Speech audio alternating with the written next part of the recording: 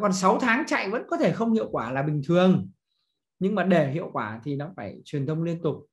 Trong khoảng 6 tháng tần suất lặp rồi các kênh nó phải lặp đi lặp lại. Đấy.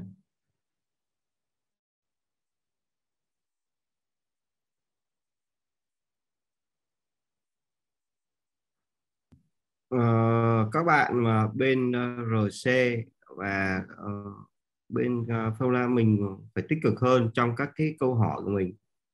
Um, kèm theo để như vậy thì ờ, giáo viên cũng chủ động được để mà hướng dẫn cho các bạn nó phù hợp. Đây là cái sự tổng quát nhưng mà các bạn làm ở chuyên ngành nào các bạn phải tập trung chuyên ngành đó và hỏi hỏi ra bã thôi nhé các bạn lưu ý cái đó. Không có những cái mình mình thấy nó kèm theo như vậy thì mình sẽ phải hỏi để nó liên quan tới cái ngành hàng của mình để đi vào nó thực tiễn nha. Các bạn lưu ý cái đó. Đã học thì phải có hiệu quả đừng có ngồi không rồi hết giờ thôi nên báo đọc cho nó nhanh. Các bạn phải có sự tương tác thì thầy cũng vui và trò cũng vẻ. Góp lại thành vui vẻ nhé cảm ơn thầy nhiều. Dạ vâng. bạn. dạ vâng em cảm ơn anh. À, thực ra thì um, các bạn mà hỏi nhiều ấy, thầy rất là thích. Bởi vì um, hỏi thì, thì nó sẽ nó sẽ Ờ, trả lời được những câu hỏi của các bạn nó đúng cái cái, cái mong muốn của các bạn thì sẽ giúp được các bạn rất nhiều. Và thứ hai là nó nó cũng thể hiện được cái cái mức độ linh hoạt trong giảng dạy của mình. Mình thì khá là tự tin. Nếu mà các bạn nhìn thấy phong thái của mình mình khá là tự tin về về kiến thức về kinh nghiệm nên là có thể trả lời.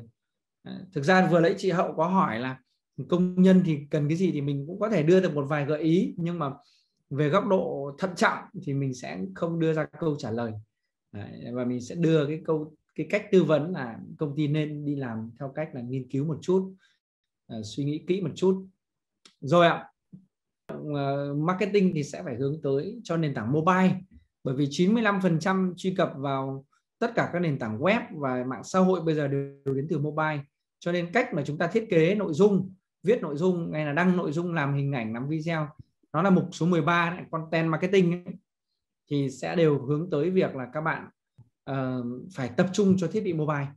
Ví dụ cái ảnh các bạn đăng cái ảnh dọc nó sẽ tốt hơn đăng cái ảnh ngang. Cái video các bạn làm cái video dọc nó sẽ tốt hơn cái video ngang. Bởi vì cái màn hình điện thoại nó là màn hình dọc còn cái màn hình máy tính nó lại màn hình ngang.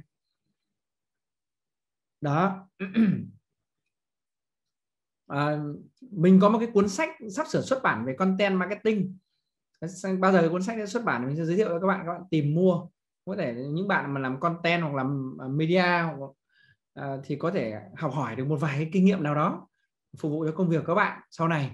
Nhưng hiện tại thì chưa có nên là mình cũng sẽ uh, không không giới thiệu. Um, content là cái nội dung quan trọng nhất và công ty nên tổ chức một cái đội sản xuất content. Nó giống như là cái bếp trung tâm của công ty. Sản xuất hình ảnh sản xuất video viết bài. sau đó là mình đăng lên rất nhiều các nền tảng khác nhau từ Facebook đến YouTube đến Zalo đến TikTok à, rồi thì đến Instagram đúng không ạ? Thế thì à, ví dụ như đối tượng công nhân ở Việt Nam chẳng hạn à, đối đồ nước uống kim tan chẳng hạn thì thì thì à, họ sử dụng Facebook à, YouTube Zalo và TikTok rất nhiều. Đấy bốn cái kênh đấy là đều phù hợp. Và tương tự như vậy thì kể cả tri thức thì người ta cũng sử dụng những kênh như vậy. Nhưng có điều là cái mối quan tâm về loại hình nội dung và chủ đề nội dung nó khác nhau thôi đúng không? Ví dụ như là ví dụ như tiktok chắc chắn là tôi thì nói thật với anh chị là tôi không bao giờ vào xem. Thứ nhất là tuổi bây giờ cũng cũng chưa già nhưng mà xem mấy cái đấy nó nó nó nó nhảm nhí quá không không nuốt trôi được. Đấy, thế nhưng mà thế nhưng mà kênh thì vẫn có nhưng mà nội dung khác trên YouTube thì mình vẫn xem. Đúng không ạ? Thì kênh thực chất là chúng ta quanh đi quanh lại cũng chừng đó kênh, chừng đó nền tảng. Nhưng mà với mỗi nhóm khách hàng thì chúng ta sẽ có những định dạng nội dung, chủ đề nội dung và cái hình thức thể hiện nội dung nó tốt hơn. Đúng không ạ? Tất nhiên thầy cũng vẫn thích chị ong nâu và và em công nhân nào đấy, anh công nhân nào đấy cũng thích chị ong nâu thế nhưng mà có những cái nội dung mà tự dưng có mấy em múa may quay cuồng mà được có triệu view thì thầy không hiểu được. Đấy, rõ ràng là thầy sẽ không nuốt trôi được cái loại đấy. Thế thì nếu mà bán cái nước mà cao cấp dành cho dân văn phòng thì content nó phải khác. Đúng không ạ? Nhưng mà công nhân gì hài hài, vui vui, nhảm nhí. Thậm chí là ra hẳn một kênh YouTube nói về ờ, đời sống ờ, của những người anh em áo xanh. Kênh là những người anh em áo xanh nay đi chợ về mua múa rau muống. Nhặt ra một nửa xào một nửa nấu một nửa kho một nửa uh, làm gì đấy? Làm một bữa thịnh soạn toàn rau muống thôi. Làm cái mâm chụp ảnh lên có khi view lại triệu view ngay đúng không? Vì nó chỉ cần vui vui như thế thôi mà. Và sau đó thì mình để cái cái nước kim tan của mình ngay trong cái bức ảnh đấy đúng không? Có phải Coca Cola nó vẫn làm content như thế không ạ? Đấy, mình đưa sản phẩm của mình vào tất cả những cái những cái hoạt động những cái đời thường nhất. Thì dần đó chính là cách mà chúng ta làm thương hiệu đó chính là cách mà chúng ta phủ đúng không ạ?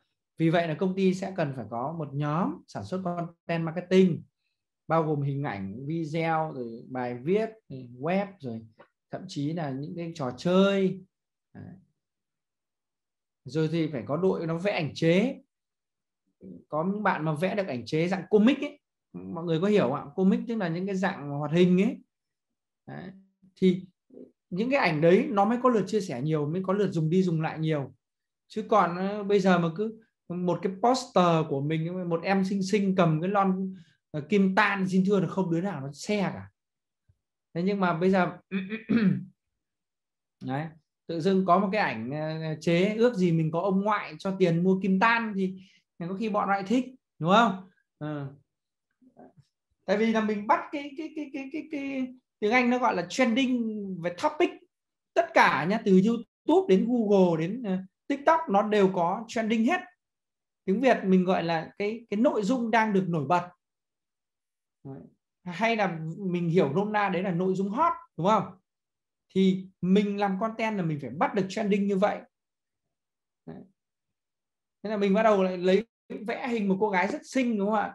Đấy đang đang đang đang muốn uống cái đồ uống đấy, đấy là lại content vẽ vẽ ra là ước gì mình có ông ngoại à, mua cho mình một thùng kim tan bây giờ nhỉ? Rồi xong đó là đăng lên đấy là đấy cũng trách view nó rất là cao. Hoặc là mình sản xuất một cái video ngắn tiktok một phút. Đấy, dạng ăn theo cái nội dung như vậy. View nó rất là cao công nhân mà công nhân người ta chỉ cần giải trí hài hước giết thời gian thôi. Ờ, đi làm về 7 giờ tối ngồi nhà trọ nóng hầm hập đi xem YouTube thấy mát hết cả người. Ừ, uống nước của mình là ngon. Đấy và sau này khi mà cái độ phủ về kênh offline tốt rồi độ phủ đo bằng gì? À, đo bằng số tỉnh xuất hiện này đo bằng là số lượng các cái tạp hóa đang xuất hiện này. Thí dụ như ở Việt Nam bây giờ nó tính đơn vị tính nó phải tính bằng vạn. Nó có mấy vạn uh, siêu thị rồi, trung tâm thương mại rồi cửa hàng tạp hóa tiện lợi tiện ích chợ ờ, đầu mối chợ uh, thôn chợ xóm đấy thì mình đi phủ hết đi. Đấy, nếu mà ở đâu cũng thấy của mình rồi thì lúc đó bắt đầu mình chạy truyền hình rất hiệu quả truyền hình lúc đấy là để gì ạ? Để giữ thương hiệu để cho đối thủ không vào thị trường. Đấy, để đảm bảo doanh số mục tiêu tốt. Thì lúc đấy mới dùng đến truyền hình. Còn bây giờ mà mình vã truyền hình thì thì thì thực ra là cũng được nhưng mà nó khá lãng phí. Cộng với khả năng ngân sách của công ty thì cũng chưa chắc đã đáp ứng được bởi vì quảng cáo truyền hình đắt lắm. Cứ một slot 30 giây nó rẻ rẻ nó cũng phải lấy chục triệu. Còn không thì hai chục ba chục thường thường những kênh kém thì nó hơn chục kênh xịn giờ xịn thì có thể vài chục.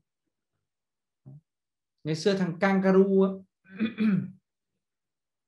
nó ra cái chiến dịch mà cứ pèng cái này kangaroo máy lọc nước hàng đầu Việt Nam pèng cái này Ờ, kangaroo, máy lọc nước là hàng đầu Việt Nam. Nó pèng như thế trong ờ, trong một cái trận chung kết C1 châu Âu đấy là riêng nó mua toàn bộ sóng tức là không cho thằng nào phát, chỉ pèng của tao thôi thì là cũng mấy chục tỷ. Nhưng mà sau sau chiến dịch đấy thì doanh thu của nó tăng đột biến, tăng x nhiều lần luôn. Tăng trưởng dạng là dựng vách ấy đang đang đang đang đang đang tả tả tả dựng vách luôn.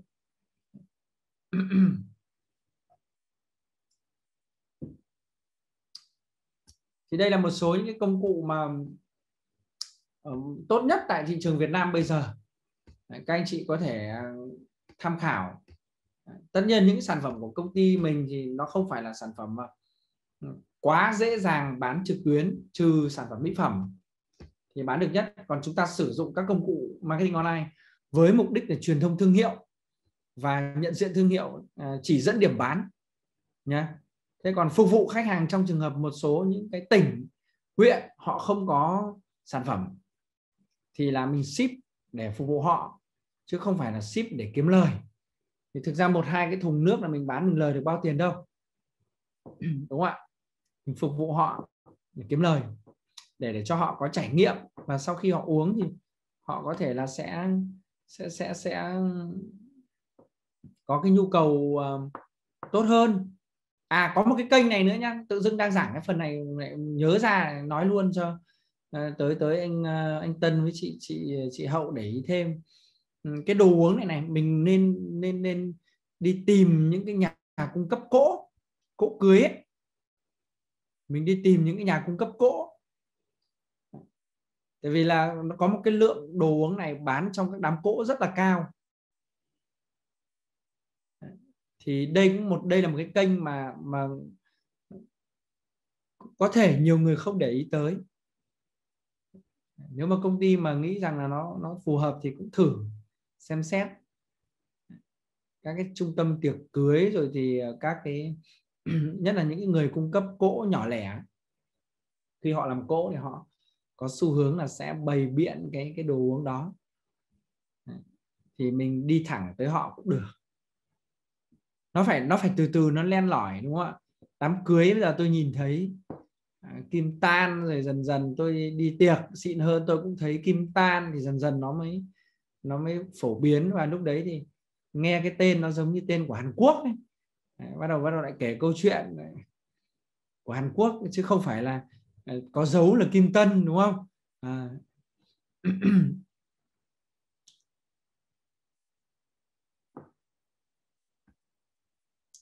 đấy, thì ờ, đấy là cái phần mà tôi ờ, trình bày với các anh chị liên quan đến cái phần các cái công cụ marketing online tốt nhất tại Việt Nam. Thì hầu hết các bạn mà đã làm marketing thì các bạn cũng đều biết những công cụ này rồi nó cũng không có gì gọi là mới lạ đặc sắc hơn cả. Ờ, bởi vì như quan điểm của tôi là là là không phải là ờ, chúng ta mới lạ mà chúng ta sử dụng nó như thế nào. Ờ, tần suất ra sao, nội dung là gì mức độ đầu tư của chúng ta.